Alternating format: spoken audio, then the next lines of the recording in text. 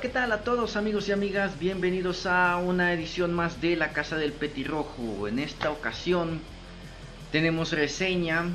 Eh, no sé por qué siento que ya la venía yo debiendo, como que siento que en estos últimos videos estuve como muy parlanchín, no sé. Eh, sucede que realmente he tenido como que muchas cosas en mi cabeza, he estado pensando mucho y también hemos estado escuchando mucho material y yo creo que también eso nos ayuda un poco, nos ayuda un poco tanto a pensar, pero también a veces nos nubla quizás un poco la vista porque llegamos a escuchar tanto material que no sabemos por cuál decidirnos. Entonces, técnicamente fue como que arrojar una moneda al aire y nos decidimos a reseñar este material. Es un álbum nuevo. Es un álbum nuevo de un proyecto que parece ser que ya tiene una cierta eh, eh, una cierta, digamos, una carrera dentro de la escena. Parece que tiene como eh, tres producciones. Esta es su tercera, parece ser. El proyecto se llama Flight Alive y su álbum Dead Religion. Para comenzar este material o el género que maneja esta, este proyecto, porque parece que es una one man band, el género que maneja este proyecto es brutal death metal. Por supuesto que todos tenemos como que una cierta idea de, qué se trata este tipo de materiales. Eh, guitarras atascadas, el bajo ligeramente distorsionado, la batería demoledora, las voces desgarradoras. Entonces es como que una receta, una, un, un, concepto que ya venimos manejando desde hace mucho tiempo con muchas agrupaciones. Algunas un poco mejores que otras, unas un poco más trabajadas algunas un poco más rústicas.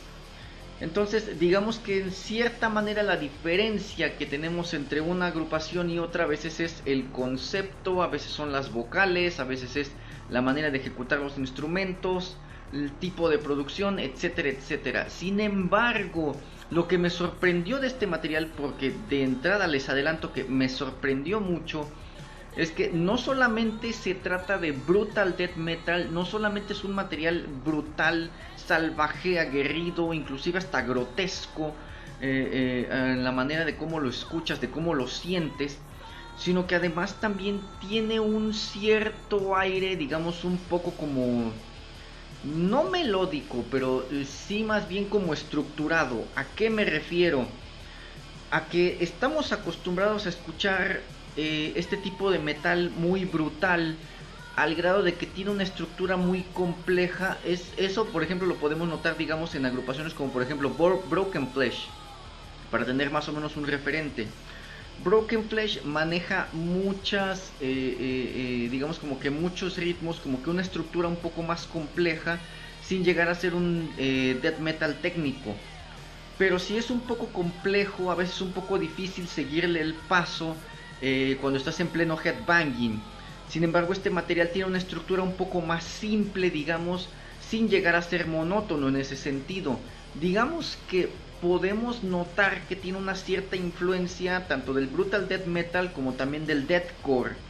Entonces, al tener también esta influencia de deathcore, le da un aire un poco más como con cierto groove, como con cierta facilidad a la hora de escucharlo sin eh, poner en, juego lo que es la brutalidad del material.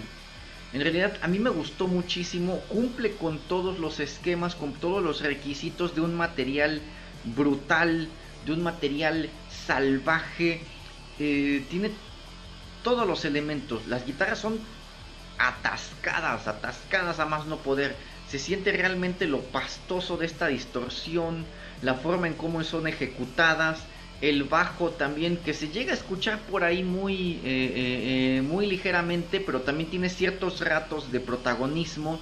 La batería, bueno, ¿qué les puedo decir? Es un martillazo constante, es exacta, es precisa, es brutal, se siente muy orgánica también, a comparación de muchos otros proyectos en los que se siente claramente que están usando una caja de ritmos una em, percusión programada. En este álbum la batería se siente orgánica, se siente muy, eh, eh, eh, muy real, muy precisa. Y eso es lo que también le da como que, digamos, un cierto valor agregado a este material. Entonces, en definitiva, es, es muy bueno, es muy aguerrido, muy salvaje. Y también me gustan mucho las vocales. Las vocales me gustaron mucho. Que técnicamente es esta voz eh, eh, eh, muy gutural, muy distorsionada. Parece que no, no, no tiene letra esta, este álbum, no tiene letras. Pero es lo que me gusta de este género. Me gusta que es esta voz digamos, muy profunda, muy distorsionada, que te da inclusive a veces una idea de estar escuchando a una especie de zombie del inframundo con un micrófono eh, tratando de recitar algunos gruñidos. Es algo que me gusta muchísimo. Me llega a recordar por ratos, eh, por ejemplo, materiales como eh, The Empty Tomb, que también es un, es, es, un EP muy bueno. Es el, EP con el mismo nombre del, proyecto, The Empty Tomb. Pero lo que sí le puedo reclamar un poco a ese EP es que los tracks no tienen una estructura. Digamos que como que se siente más bien como si fuera una especie de improvisación. Eh, de alguna manera. Entonces eso sí es algo que le puedo recriminar un poco a ese EP a comparación de este álbum, de este álbum que tiene una estructura como tal, sí puedes seguirle el ritmo, te hace meterte en un buen headbanging, o sea, realmente se siente eh, eh, ese buen group. También me recuerda agrupaciones como por ejemplo Long Suffering o Eternal Mystery.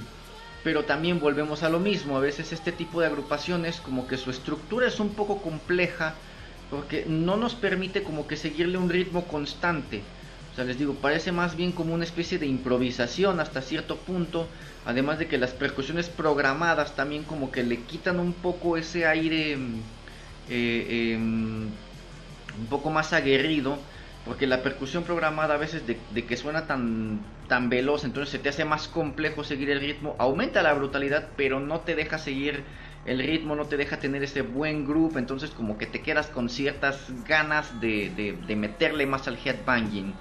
Entonces, esto es lo que tenemos en este álbum.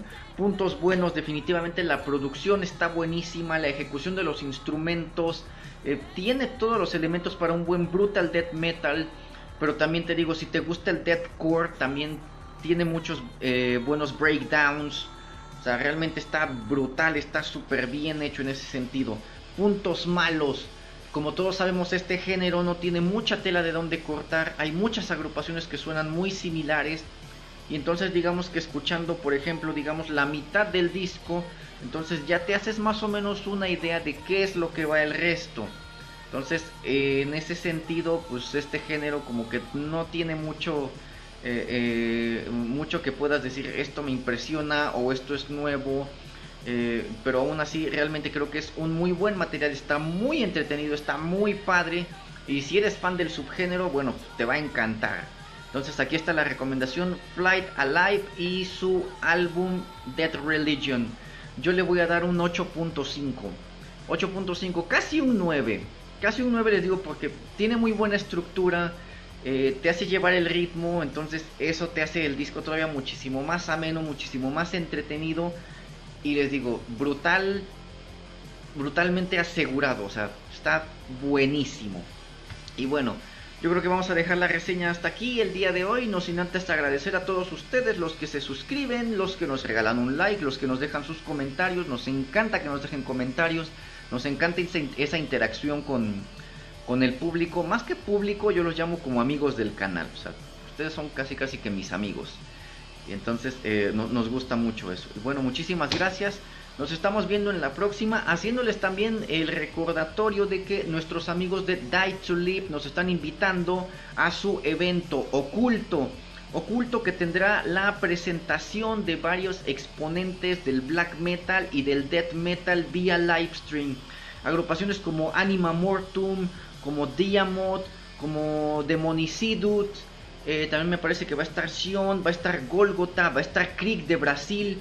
Entonces, esto se viene brutal, gente. Esto se viene brutal. En la descripción del video les voy a dejar el enlace a la página del evento para que confirmen su asistencia, para que chequen eh, detalles, los horarios, etcétera, etcétera.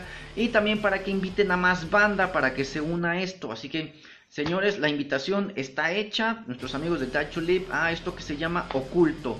Y bueno, nos estamos viendo en la próxima, gente. Que Dios me los bendiga muchísimo. Gracias por su apoyo. Se despide usted su amigo Víctor Carebel.